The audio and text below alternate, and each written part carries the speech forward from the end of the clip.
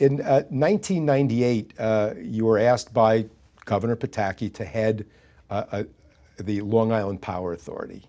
Um, you were an obvious choice uh, as having been the energy czar in Washington and having a deep understanding of local politics and, and private sector processes.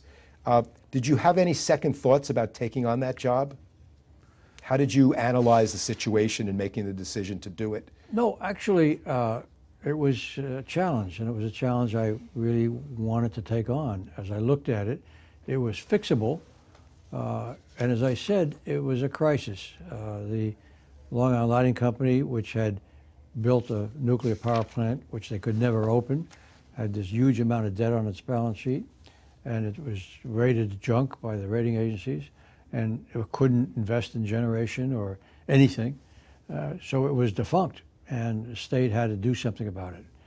So Pataki asked me to look at it, and I did. He Gave me some staff help. The, uh, I looked at it, I went back to him and told him that the only way to solve this thing was a, a temporary step.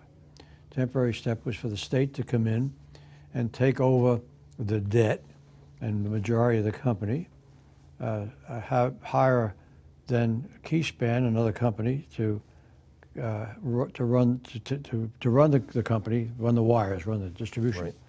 And we would refinance the debt with tax-free debt, bringing down the interest rates and make the thing hold together financially. But this was a hybrid. It wasn't private, it wasn't public, it was, yeah, it was semi. Yeah, and it was designed to be interim because my recommendation was that we use this opportunity to consolidate Keyspan, which was Brooklyn Union Gas Company, consolidated Edison, Con Ed in New York City, and also overlapping Nassau County, and uh, overlapping in Queens. Into one mammoth downstate utility? Yeah. And so that Still was, privately held or? It was to be privately held with a government component to deal with the debt. Okay. So it, was a, it had to be worked out and we needed legislation, but I was quite sure we could get it. Uh, the politics of putting us to, all this together were, were unsurmountable. In and what sense? Corporate politics or uh, conventional politics? Con Ed was trying to get rates increased in New York City, and it was always in political difficulty being criticized for service. Uh, it was generally judged that Con Ed was a worse condition than we were, all of which I think could have been fixed and overcome. So Con Ed was not willing to go ahead for political reasons. Okay. The governor was unwilling to push him for political reasons. So we agreed that this would we'd stay with the interim step of what what we have, LIPA. Um, in uh, 2000, you, you continued your run on Long Island. Uh, somehow your experience with LIPA wasn't, didn't quite cure you of it. Uh, and you took on the, uh, the task of uh, reforming Nassau County's finances. I mean, here was one of the richest suburban counties in America at a boom time in our uh, financial history, finding itself on the brink of bankruptcy. How did it get there? And then why would you want to have anything to do with it? Uh, well, it was certainly a, a, financial challenge, and I mean a challenge of a financial company right. uh, to deal with. Uh, so it was intriguing. Uh, I live on Long Island, so I cared a little bit about the outcome. Uh, I like Governor Pataki, who uh, asked me to do it. I like working with him. I trusted him. he asked me to take a look at the problem I did. I came back and told him that the, the county, which had a Republican county executive, uh, was being mismanaged and that we really needed to get the state involved to, to fix it. We put together a formula which... Who's we? Who else besides you I were had, involved uh, I brought in pro bono, Goldman Sachs, uh, and, uh, uh, and they're municipal people who are used to these problems. And New York State provided me with some help from particularly their budget department. And we looked at the various ways to approach the problem. It was clear that we needed a control board, but in this case, a control board light, which means we didn't have to approve every single contract and take complete control of the county. We had modest authorities, but enough to get the job done. We had to approve the county's budget.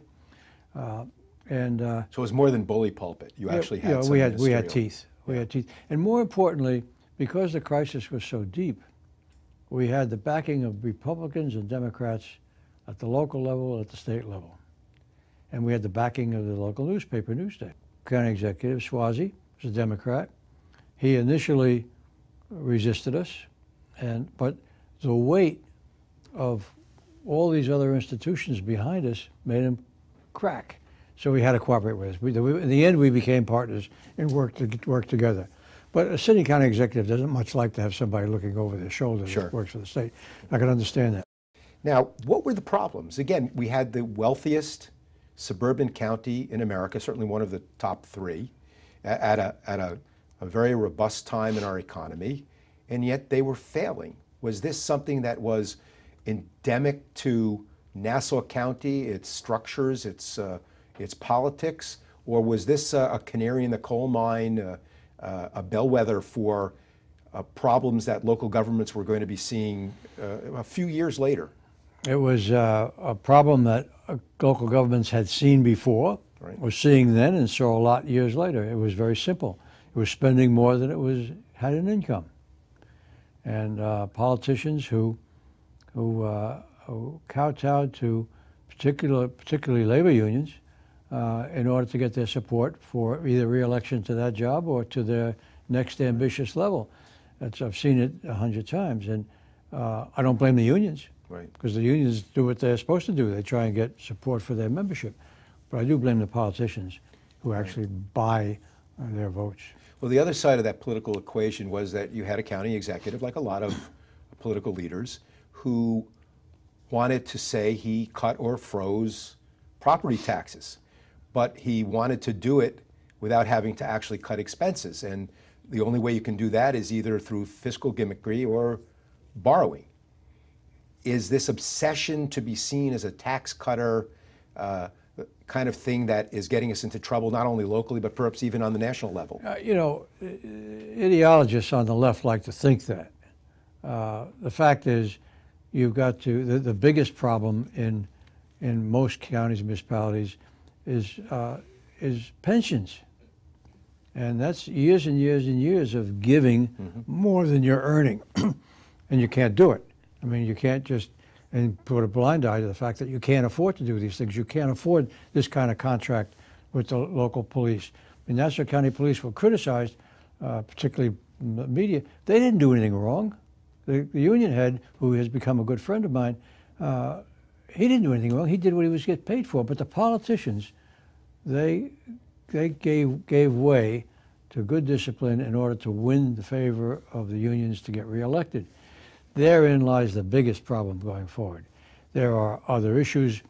Certainly, freezing taxes without looking at the real world uh, contributes to it, but that's not the biggest contributor. You can discipline taxes and at the same time keep financially healthy, uh, but the structure of municipalities oftentimes just doesn't let that happen because, as I say, in place are pensions that will kill them.